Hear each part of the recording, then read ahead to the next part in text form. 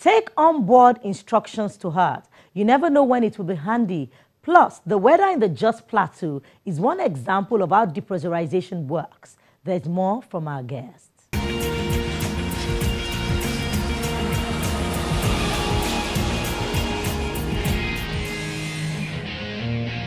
When, when, you, when you travel to Jos, which is higher, when you are running, you get tired. So because of lack of oxygen, because the higher you go, the oxygen level drops.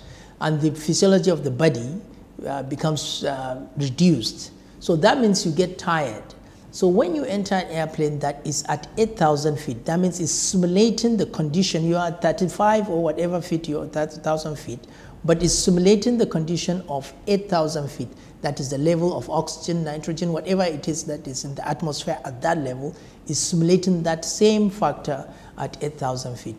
First of all, pilots are trained. The first uh, things that you are trained about is depressurization.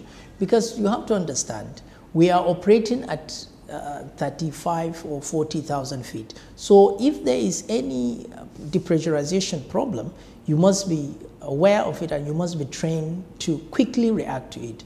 Uh, in my careers of flying, yes, I've had maybe two or three depressurizations. And uh, it was just a normal um, uh, emergency procedure that you follow, which you've been trained every six months, you are trained for it. Um, I don't think the passengers should have any, um, any fear because we always brief them in the event that we lose cabin pressure, this is what we're going to do. So this is the event that we have lost the cabin pressure. That's, that's just normal for me. That's, uh, that's absolutely normal. What will cause, what will have a problem is what caused the cabin pressure to be, to be lost. That's the only this time. But if there is nothing, uh, if, if let's say the outflow valve decides to open and then dumps all the pressure, it's not a, it's not a problem. You start an uh, emergency descent and you put your mask. The airplane will fly perfectly at 14,000 feet and nothing happens. So in my experience, I think uh, I was flying the BAC 111 then, we had a pressurization problem and uh, of course we did what we were trained to do, done the oxygen mask and the passengers, uh, of course, a bit frightened, but uh, they also done the oxygen mask. But I encourage passengers not to be frightened as far as the airplane is flying. They should just don the oxygen mask and, um, and operate normally until the airplane comes to a comfortable level of about 14,000 feet and they will be asked to remove the mask and then continue a normal flight. After all, the airplanes that we fly at 14,000 feet, we don't need an oxygen mask for it. No, I think the problem with most passengers, and especially Nigerian passengers, is they feel that flying is a myth. But there's science to it.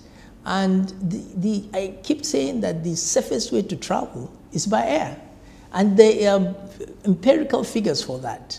And they should be, they, we should understand the science behind flying. If you understand the science behind flying, and you do see the uh, flights, how they go, and you read about it, I don't think there's anything to be scared of. The aircraft is not that it's magically flying.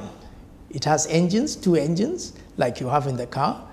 It, it sucks air and then produces thrust, and the air aerofoil creates lift, and it takes the airplane up in the air.